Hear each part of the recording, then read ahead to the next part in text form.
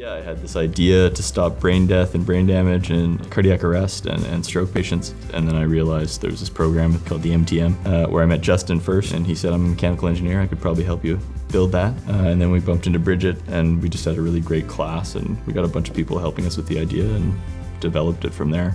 And then learning on the capstones at the same time sort of taught us how to go about bringing an idea to reality.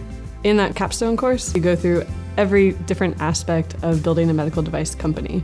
So you look at IP and you look at regulatory, you look at how to make a pitch deck, you look at engineering, it's, it's been really exciting to see the reaction of doctors. So I mean, we've talked to probably the biggest name doctors in stroke, at least you know half of the top ten, I would say.